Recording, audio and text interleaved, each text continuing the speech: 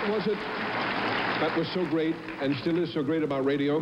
Well, for one thing, it involves us in a special way. I think perhaps we didn't appreciate the nature of that participation until television came along.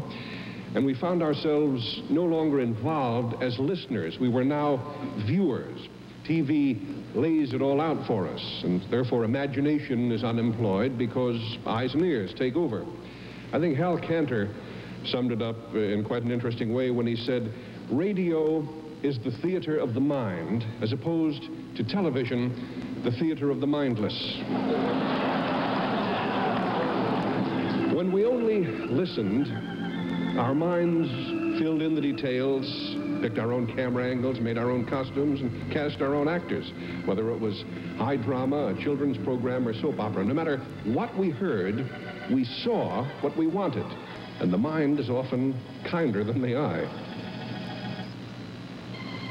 When last we left Madeline, she was trapped in the Baron de Fitzroy's palatial mansion. The evil aristocrat is keeping her hostage until she agrees to divorce her third husband and become his fifth wife.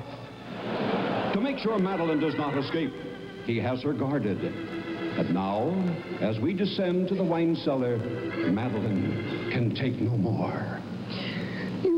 You think you can keep me here, do you? Yes. Well, you're wrong. no wine cellar will keep me prisoner. And as for you, you dog, take that. Meanwhile, upstairs, the evil Baron de Fitzroy plots with his housekeeper.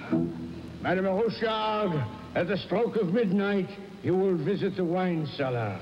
Bring me a quart of Burgundy and all of Madeline.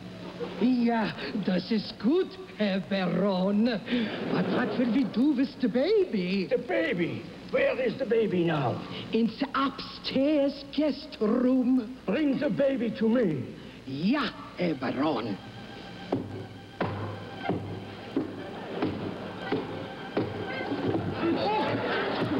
das this ass hurt my shins. Ooh.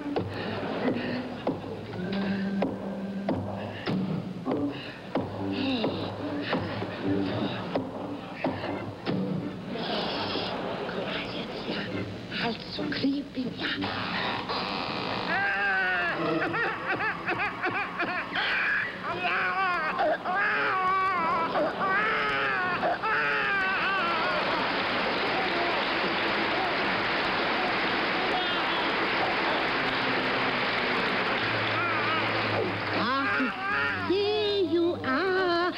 Kommen Sie hier, mein Liebchen.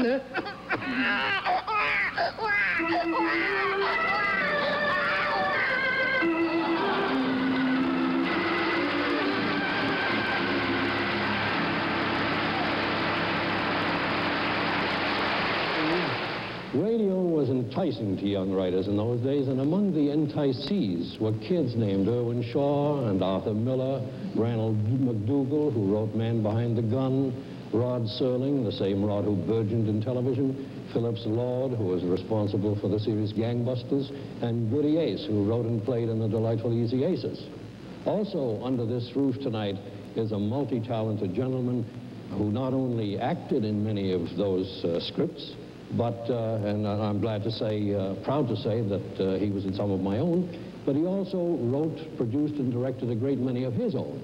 The radio voice of Frank Remley on The Phil Harris Show, and the star of a thousand dramas, Elliot Lewis.